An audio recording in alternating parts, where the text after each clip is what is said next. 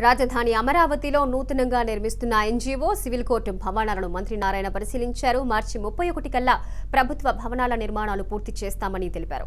నీరుకొండ వద్ద ఎన్టీఆర్ కాంస్య విగ్రహాన్ని ఏర్పాటు చేయనున్నట్టుగా మంత్రి వెల్లడించారు. పటేల్ విగ్రహానికి మూడు వేల కోట్లు పెట్టిన కేంద్రం అమరావతి నిర్మాణానికి నిధులివ్వటం లేదంటూ నారాయణ విమర్శించారు. అదేవిధంగా ఈరోజు హైకోర్టు బిల్డింగ్ కన్స్ట్రక్షన్ జరుగుతుంది. అదేవిధంగా సివిల్ కోర్టు ఏదైతే అనుకున్నామో ప్రస్తుతం టెంపరీగా హైకోర్టు కింద దానికి సంబంధించి రెండు లక్షల యాభై వేల చదరపడుగులతో బిల్డింగ్ కన్స్ట్రక్షన్ జరుగుతుంది. ఇప్పుడు ఆ బిల్డింగ్ యొక్క రెండవ అంతస్తు పైన ఉన్నాము.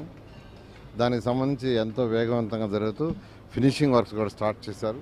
దీనికి సంబంధించిన కోర్టు హాల్స్ కానీ లేదా అడ్మినిస్ట్రేటివ్ హాల్స్ కానీ ఇవన్నీ స్లాబ్స్ వర్క్ అయితే పూర్తి అయిపోయింది కంప్లీట్గాను. తర్వాత కోర్టు హాల్స్ కూడా ఒక ఫ్లోర్లో అయితే పూర్తి కట్టేశారు. మరొక ఫ్లోర్లో కన్స్ట్రక్షన్ జరుగుతుంది.